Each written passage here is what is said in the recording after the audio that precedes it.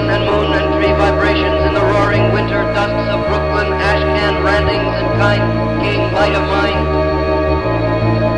Who chain themselves to subways for the endless ride from Battery to Holy Bronx on Benzedrine until the noise of wheels and children brought them down shuddering mouth racked and battered freaked of rain all drained of brilliance in the drear light of zoo. Who sank all night in submarine light of Bickford's the stale beer afternoon in desolate Fugazzi's, listening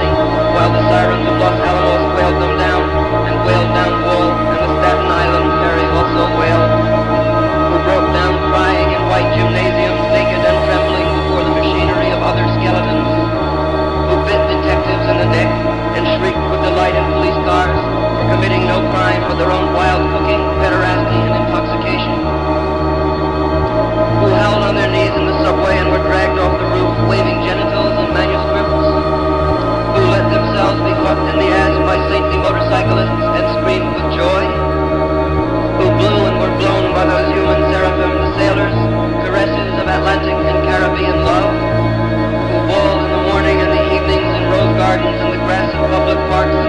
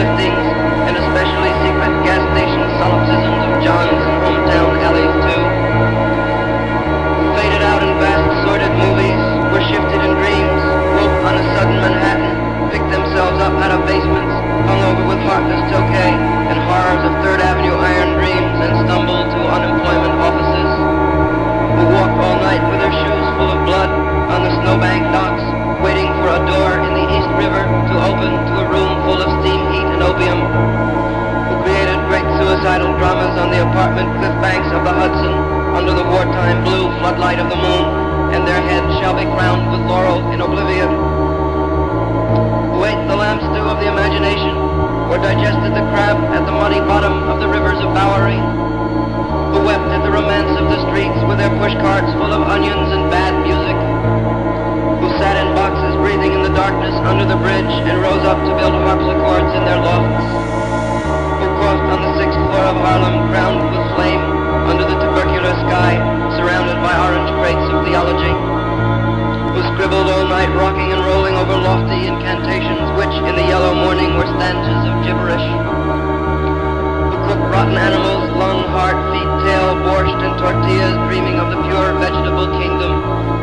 who plunged themselves under meat trucks looking for an egg,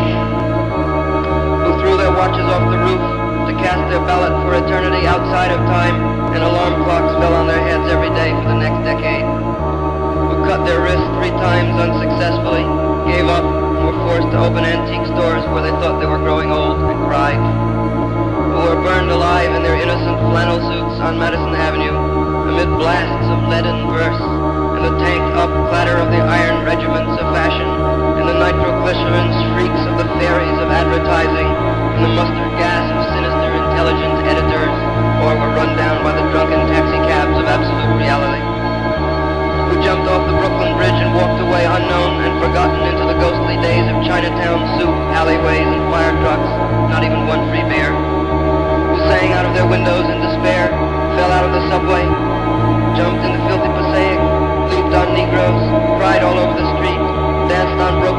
broken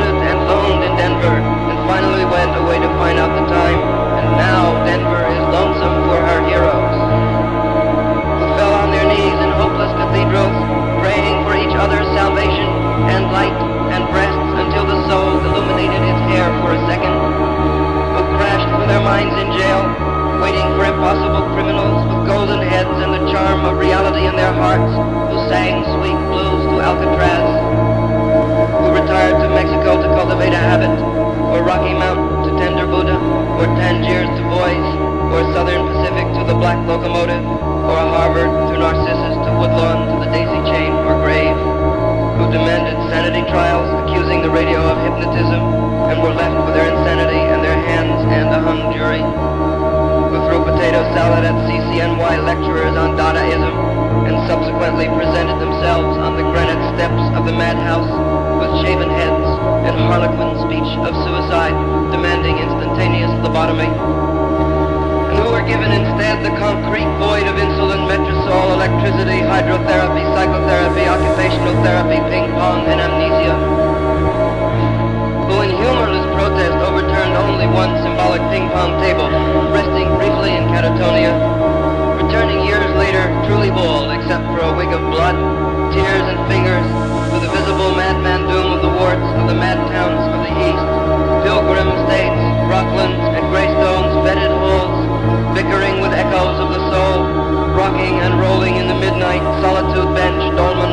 of love, dream of life a nightmare, bodies turned to stone as heavy as the moon, with mother finally in the last fantastic book flung out of the tenement window, and the last door closed at 4 a.m.,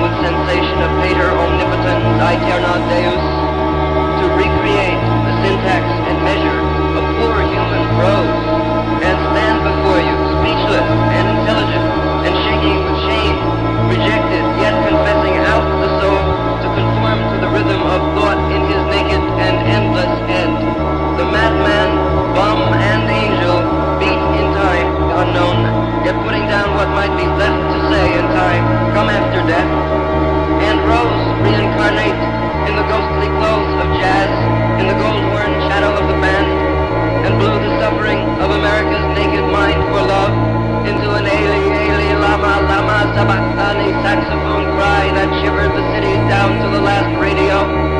the absolute heart of the poem of life, butchered out of their own bodies, good to eat a thousand years. Part two.